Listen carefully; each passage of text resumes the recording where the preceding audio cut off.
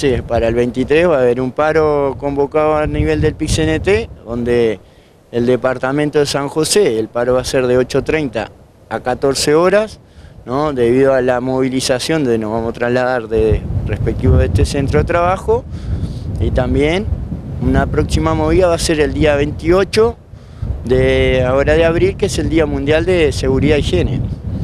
En ese aspecto vamos a estar localizando en una plaza, aunque aún hay que definir, para hacer cartelería y haremos una exposición de fotografía y eso para concientizar a las personas de los cuidados básicos en cada centro de trabajo y, más.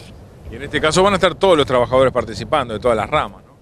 Eh, digo, a eso apuntamos, eso es el día de nuestro gremio, se convocará a través de, vamos a decir, de de los intersindicales a ver cómo nos ajustamos detalles para definir que faltan unos 15 días. ¿Está cómo es la situación en, el departamento del Zunca? ¿Hay algún otro lugar donde preocupe, donde quizás bueno, se, se esté mirando con cierta atención, que pueda surgir algún conflicto más allá de este puntual? Y conflictos, digo, creo que se han generado y en estos últimos momentos con despidos, o sea, situaciones que lo tenés a diario, todos los meses, que son de pocos compañeros, o sea, resoluciones que hemos llevado hasta el ministerio se han evaluado y han salido favorables a los trabajadores. Pero sí, nunca está latente, no sabemos en qué momento salta el problema. Eh, ayer lo, lo, consultamos también con un representante sindical de otra rama. ¿Cómo ha sido en el cambio de gobierno? Bueno, las nuevas autoridades, el director de trabajo, también el ministro de trabajo, digo, ¿cómo, cómo ha sido el diálogo? ¿Ha habido alguna diferencia que quieran remarcar?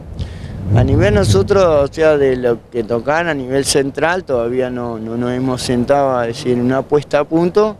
Sí que las conversaciones de, nuestro, o sea, de la primera línea de nuestro sindicato ha tenido.